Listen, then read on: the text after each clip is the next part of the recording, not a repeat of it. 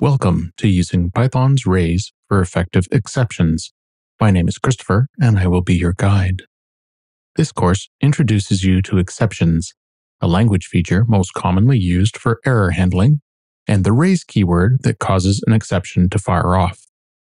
In this course, you'll learn about exception objects, what it means to raise an exception, the exceptions that come with Python, how to write your own exception classes, how to chain exceptions together, and the relatively new language feature, exception groups.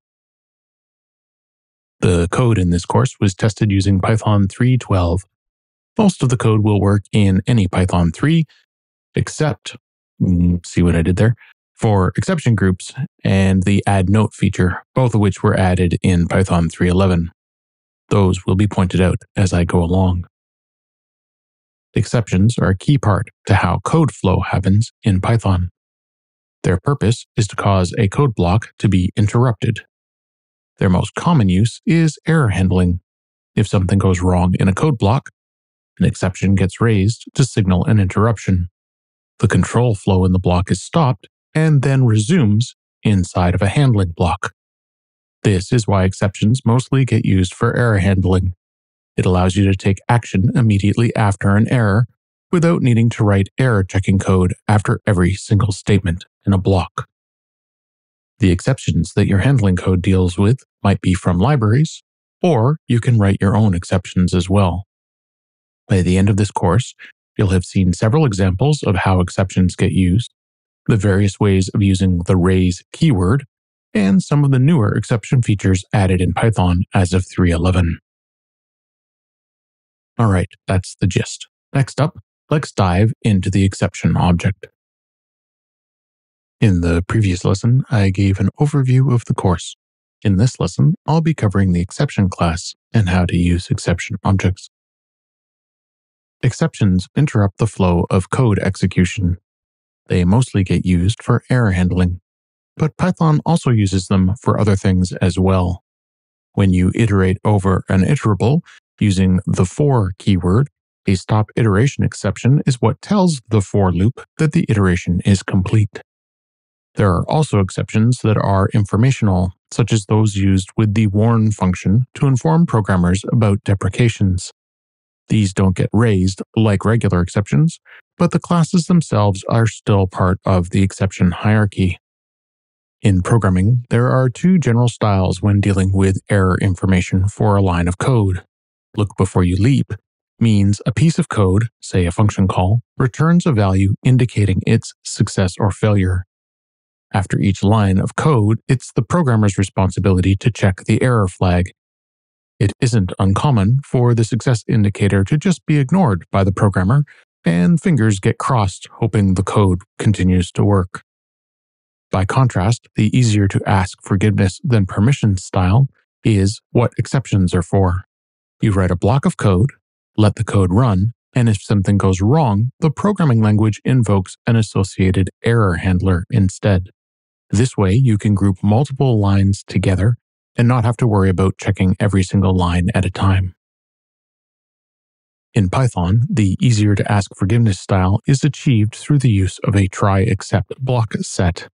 If something goes wrong within the try block, the code raises an exception and Python transfers the code flow into the except block. Note that many languages use the terminology throw and catch for exceptions. Python instead uses raises and handles. As Python isn't my first programming language, you might catch me using the wrong phrase. See what I did there? Uh, I'm just going to keep pointing out the bad dad jokes just in case they're coming too fast for you. Enough blah de blah. Let's write some code. I'm inside my trusty REPL here. Uh, let me start by creating a list.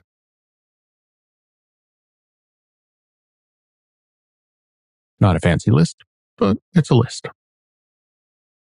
I access an item in the list using sequence notation. That's those square brackets.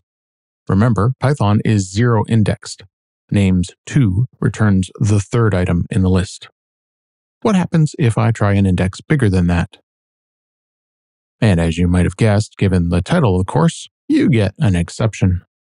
Notice what this looks like. Let's start at the bottom of the output and work our way backwards. The highlighted index error is the exception that got raised. Python's a bit messy when it comes to exceptions. It names most of them errors. I suspect that's to save typing, but the term exception is common in a lot of languages, so making it raising an error would have caused more confusion than it was worth. So what you've got here is the state of things. Most exceptions are named error. Go figure. Index error is one of the exceptions built into the Python standard library. It gets invoked in exactly this case when you use square brackets to reference something outside the size of a sequence. In this case, I'm asking for item index 3, that's the fourth thing, in a list with only three things in it. Next to the index error is a message. The message is actually an argument to the index error when it gets created. And when you raise your own exceptions, you can set the contents of this message. Its purpose is a bit like logging. It adds some more information so that the person seeing the exception has a better idea as to what caused it. Above the index error line is what's called a traceback. A traceback shows you what things got called in what order when the exception was raised. In this case, since I'm using the REPL, it only has one thing in it, a single line from standard input. If I had a function that called a function that raised an exception, you'd get one line in the stack for each. A traceback gives you not only the exact place in your code where the exception was raised, but also who called the code to get to that state. All right, let's add some error handling now. A try block contains the code you want to run that might raise an exception. Here, I'm putting in the same problematic reference as before. And then the except block contains the handler. The code in this block is what gets run if the try raises an exception. Spoiler alert, it will. The except keyword takes an optional argument, the kind of exception that this block is willing to handle. Here, I've used index error. If I hadn't put it, the block would catch all exceptions. Because I do have it, if the code raises a different kind of error, the handler won't get called.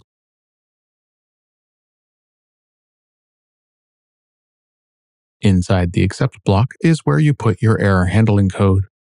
Often this means writing something more informative to the user, and for me, in this case, I've printed something out. Okay, let's let this run. The end result is that final print statement. The call to names 3 raises an index error, gets caught by the handler, and then inside the handler, print is called. And that's what writes your list doesn't have that index to the screen. So exactly what happens when names 3 gets run? Well, Python, underneath the covers, is raising an index error. There's nothing magical about that. You can do it yourself.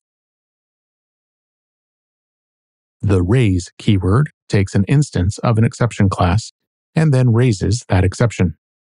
Note that because I didn't include a message as an argument to the class, the bottom line here only shows the error itself. Otherwise, the input pretty much looks just like the uncaught version above. Let me do it again, adding a message.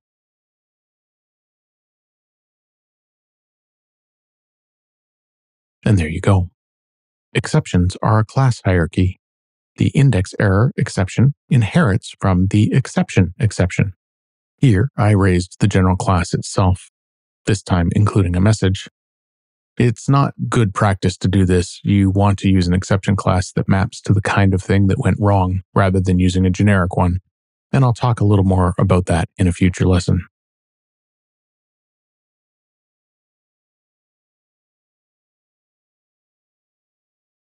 Exceptions accept multiple arguments to the constructor. You've seen the message, but I can put more than that if I wish.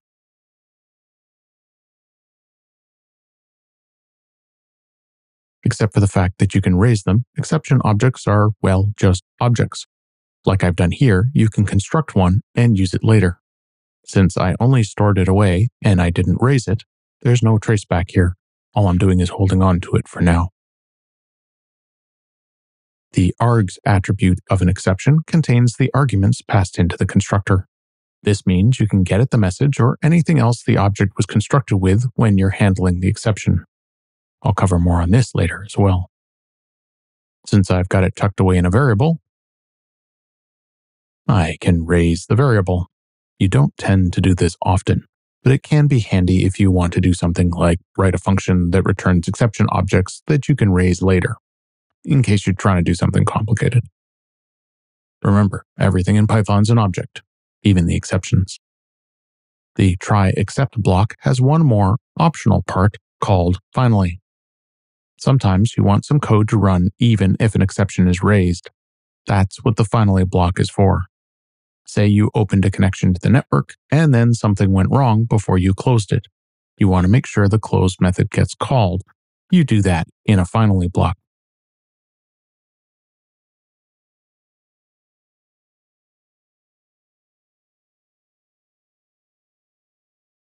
I'm not going to muck around with network connections, but you can see from this code that the first print should run and the second shouldn't.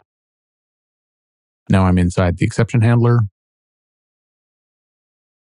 printing a little more info.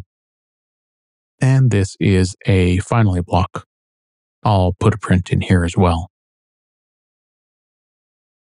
Remember, this print will get called whether or not there's an exception.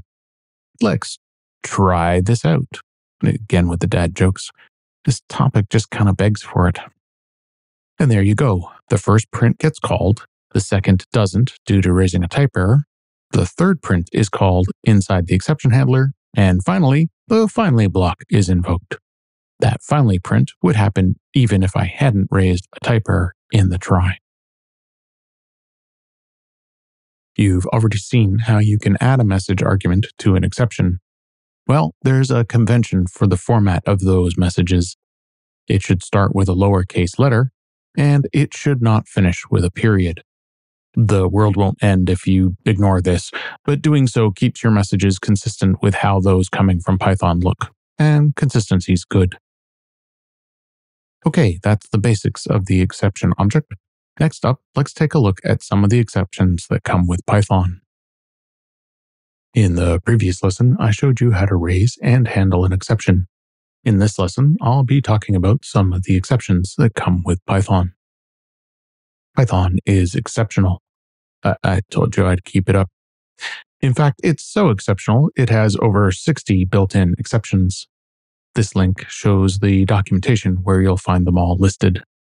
In the previous lesson, I mentioned that exceptions inherit from an object hierarchy the root of that hierarchy is the base exception class. And the topmost one you should use is the exception class itself. This is the one I showed you in the previous lesson. That being said, you probably shouldn't use this one either. It's a little too generic. Let's talk about the eight most common exceptions you're likely to run into in Python code. Import error gets raised if the import statement can't load a module. If you've coded at all, you've likely seen the name error. This one gets raised if you reference something that isn't in the local or global scope. This one could also be called spelling error, as misspelling a variable is the most common cause. At least for me, that is. The attribute error gets raised if you reference an attribute that doesn't exist on an object. It can be a bit more technical than that, as Python has several things you can do to override attribute behavior but the typical case is trying to use an attribute that isn't there. An index error gets raised when you attempt to use an index in a sequence that's out of range of that sequence. That got covered in the previous lesson as well. The key error is kind of like the index error, but for dictionaries. This gets raised if you try to reference a non existing key. Zero division error gets raised if you attempt to divide a number by zero or try to do modulo zero. Mathematicians get pretty cranky when you try to do this. Python just raises an exception. A type error gets raised when you try to do something that isn't compatible with an object's type. For example, if you attempt to divide a string by an integer, you get a type error as strings don't support division. Value error is probably one of the ones I see and use the most. This is a bit of a catch all for things where the type of the argument is correct, but the value is unsupported. Say you had a function that was supposed to take strings with only vowels in them. You might raise a value error if the string passed in contained consonants. It's still a string in both cases, so it isn't a type error, but if the function's expecting only vowels, and finds something else, a value error is the appropriate thing to raise.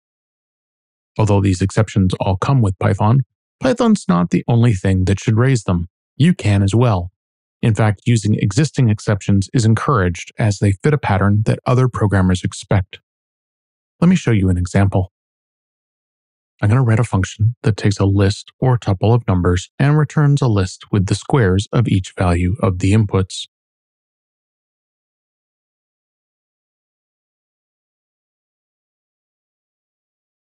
Here, I'm checking if the numbers argument is a list or a tuple.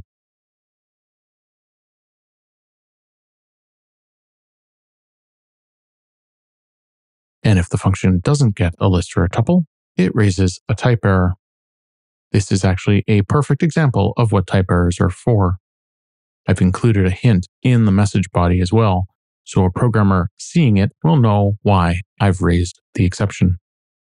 If this were a program, rather than me just futzing about in the REPL, I'd have a doc string for the function, and in that doc string, I'd indicate that this function raises type error and why. You should always document your code. With the type checking out of the way,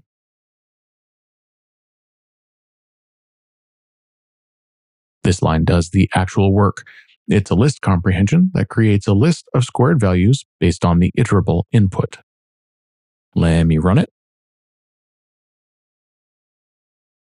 And there you go, some squares. Instead of passing in a list, let me pass in a set and as expected, it raises a type error. A couple things to notice about this exception. First, because it happened inside of a function, there are two lines in the traceback. The stack shows line 3 and line 1. Line 3 is relative to the function declaration, and it's on the third line of that function where the exception gets raised. Line 1 is relative to the REPL, and hence the angle brackets module notation like you saw in the previous lesson where I raised exceptions from the REPL line itself. The second thing to note is that this is a bit of a contrived example. Don't get me wrong, you should raise a type error if an iterable without numbers gets passed in, but sets are actually iterable. Uh, if my code were a little better, I would do type checking to include sets and allow them. But that wouldn't give me as good an example. Now that you've seen some of the exceptions that come with Python, it's time to see how you can write your own. That's up next.